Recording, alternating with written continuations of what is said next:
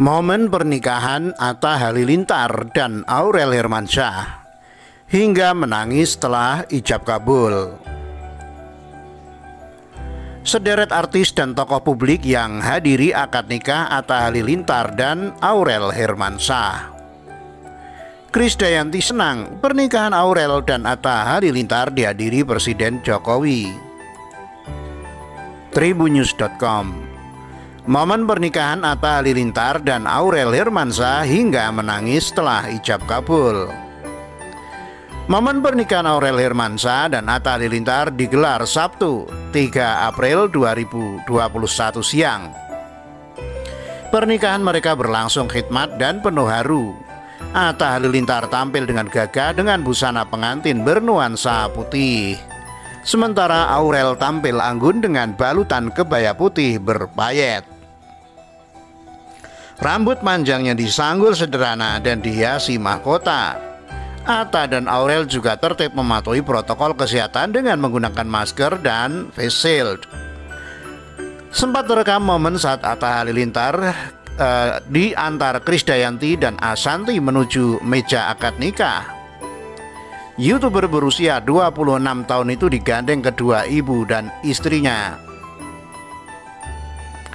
Presiden Joko Widodo dan Prabowo Subianto tampak menjadi saksi pernikahan Aurel dan Atta. Sementara itu Gus Miftah sempat memberikan khutbah nikah, kemudian tibalah momen ijab kabul. Kendati gugup, Atta sukses melafalkan ijab kabul dalam satu tarikan nafas. Setelah sah menjadi suami Aurel, Atta sempat terlihat menangis. Ia tampak menyeka air matanya. Acara kemudian berlanjut dengan pembacaan doa dari suami untuk istri. Dibantu Gus Miftah, Atta melafalkan doa untuk Aurel. Doa itu diucapkan sambil memegang kepala istrinya. Atta dan Aurel pun saling menyematkan cincin nikah ke jari masing-masing. Mereka kemudian berpose bersama. Penuh haru, Doa panjang Krisdayanti jelang akad nikah Aurel dan Atta berbakti tidak menentang. Sebelumnya Krisdayanti sempat menuliskan doa untuk Aurel Hermansyah sebelum dinikahi Atta Halilintar. Sederet artis dan tokoh publik yang hadiri akad nikah Atta Halilintar dan Aurel Hermansyah. Atta Halilintar dan Aurel Hermansyah resmi menjadi pasangan suami dan istri pada Sabtu 3 April 2021. Akad nikah Atta dan Aurel berlangsung di Hotel Raffles yang berlokasi di kawasan Karet Kuningan, Setiabudi, DKI Jakarta. Acara akad nikah Putri Sulung Krisdayanti ini disiarkan langsung oleh RCTI. Sejak awal acara pada pukul 09.00 WIB, Raffi Ahmad dan Ayu Dewi didapuk menjadi host dalam acara akad nikah. Tak hanya akad nikah acara lamaran yang digelar pada 13 Maret 2021 lalu juga disiarkan langsung oleh RCTI. Di acara akad nikah Atta dan Aurel tidak banyak mengundang para tamu. Hal ini lantaran acara pernikahan digelar pada saat pandemi COVID-19. Tamu yang menghadiri acara hanyalah keluarga dan kerabat terdekat dari Atta dan Aurel. Diketahui juga nampak para pejabat turut diundang dalam pernikahan putri dari Anang Irmansyah ini. Sederet tamu undangan yang hadir wajib menjalankan tes web antigen terlebih dulu. Saat pelaksanaan acara akad nikah, kursi tamu para undangan juga telah set berjarak 1 meter.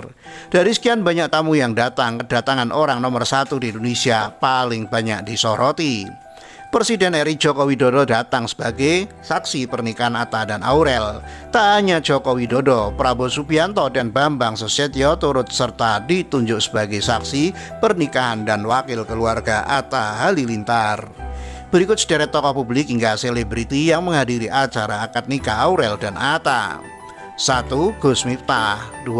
Raffi Ahmad dan Ayu Dewi 3. Milen Seres 4. Yuni Sara 5.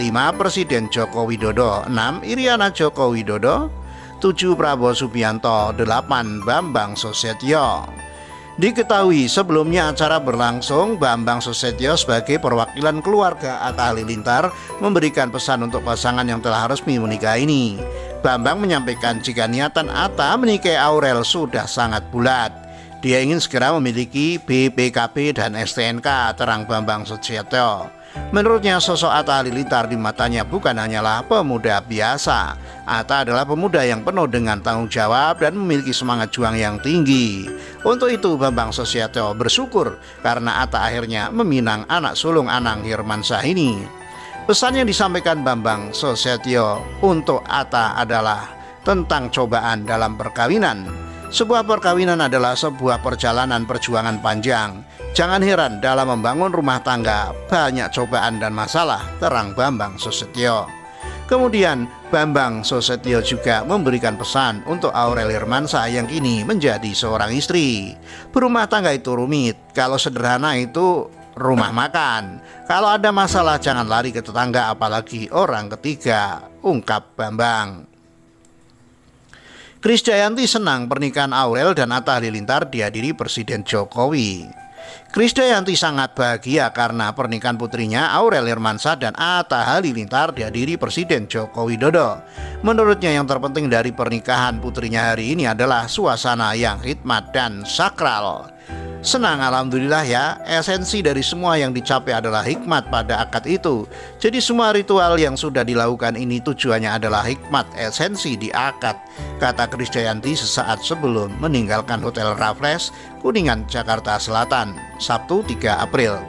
Jadi alhamdulillah dengan saksi, dengan wali yang luar biasa, tadi benar-benar sakral dan Alhamdulillah untuk hari ini semua ada satu kata yang sangat baik itu adalah syukur terangnya Tak lupa juga ia berterima kasih kepada Joko Widodo dan Irana Joko Widodo karena sudah menyempatkan waktunya untuk hadir dalam pernikahan Atta dan Aurel.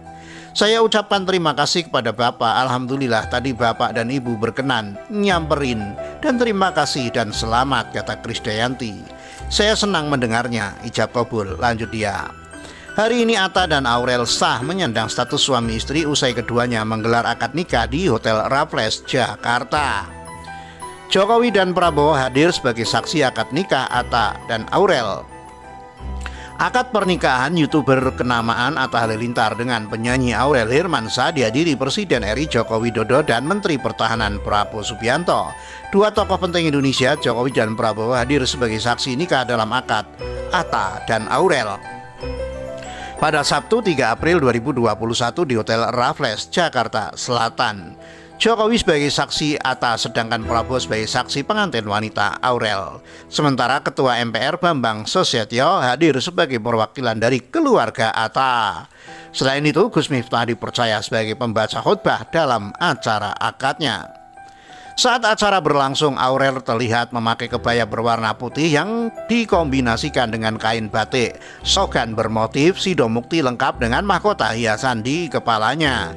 Sementara Atta menggunakan atasan jas berwarna putih lengkap dengan songkok sebagai penutup kepala. Dalam akad nikah anaknya, Krisdayanti juga terlihat datang menghadiri dengan menggunakan kebaya model kutu baru berwarna kuning keemasan dengan balutan nuansa Jawa. Rambut Krisdayanti terlihat ditata menggunakan sanggul tradisi, sedangkan rambut dan kebaya Ashanti terlihat menggunakan gaya modern. Acara akad pernikahan Atta dan Aurel ini disiarkan langsung oleh stasiun televisi RCTI yang telah memiliki izin penayangan. Rangkaian acara akad pernikahan ini disiarkan dalam program Ikatan Cinta Atta dan Aurel, spesial akad nikah pukul 13.15 WIB. Diterangkan Raffi Ahmad dan Ayu Dewi yang didapuk sebagai MC dalam mempersiapkan acara akad ini. Telah dilakukan pengecekan tubuh dan penyeterilan area sesuai, sesuai protokol kesehatan. Diterangkan Ayu, Atta dan Aurel memiliki konsep Jawa sebagai tema akad pernikahannya kali ini bernuansa putih. Berbeda dengan acara lamarannya dulu yang diketahui bernuansa ungu muda.